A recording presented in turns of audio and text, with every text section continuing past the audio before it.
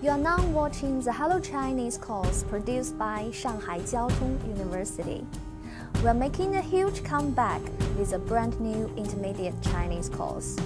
At the beginner's level of the Hello Chinese course, we learn some basic and practical phrases in Chinese, covering topics such as greetings, time, shopping, food, family, hobbies, direction, make an appointment, and house. So, what will we learn this time? Education, lifestyles, dealing with emergencies, interviews, online shopping, renting a house or apartment, getting a haircut, jobs, birthdays, traditional Chinese festivals, love, weddings, and planning for the future will all be covered in this intermediate course.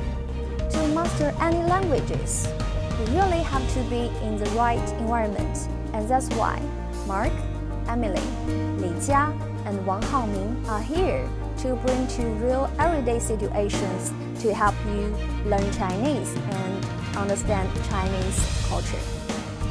They will discuss the different topics young people have. They will also celebrate Li Jia's birthday together. Li Jia will tell Emily what the origin of the traditional Chinese festival Dragon Boat Festival is.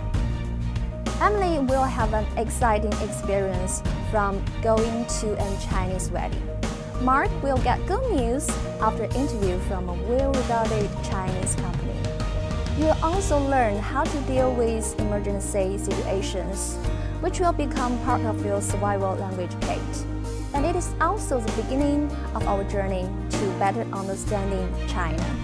In this course, we will be showing you real-life situations in China and the words and phrases you need to know to go along.